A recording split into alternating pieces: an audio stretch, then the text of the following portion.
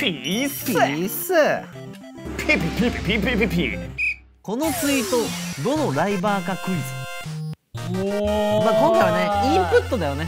ううんインプット。どういう今からツイートがあるんだい？名前伏せて、うん。このライバーこのツイートだどのライバーでしょうが出るからなるほど。それを当てていく。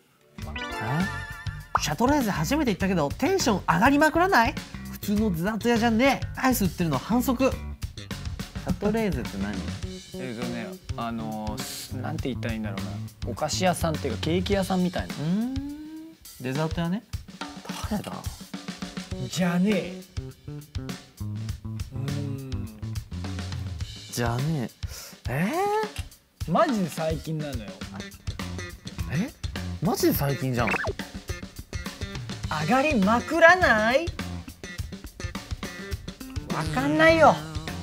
男か女かおー甘いもの好きな男か。うんノリノリな女。わかんないもうこれは回答欄に空欄を全部同じ回答をして1個当たるっていう戦術でいきます。いきます。はい。せーの。ミトさん。アンジュワンちゃん。あーあるかもね。正解はこちらです。ピースピース。ピース。ピピピピピピピピ好きそう。確かに。確かにね。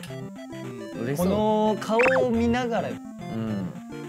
ツイート見ると声聞こえてくるわ。聞こえてくるわ。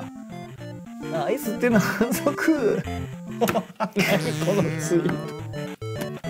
普通のデザート屋じゃねえ。アイス売ってるの反則。ピース。そうなります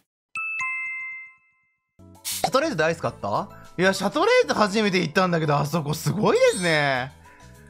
いや、デザートもさることながら和菓子も売ってるし、で、アイスの量が尋常じゃないんですよね。ふるさと納税でめちゃめちゃ冷蔵庫圧迫してるんで、アイスそんな買わなかったんですけど、でみんなにおすすめされて興味持って買っちゃったんだよな、アイスな。2, 2回目来店でアイス結構買っちゃいました。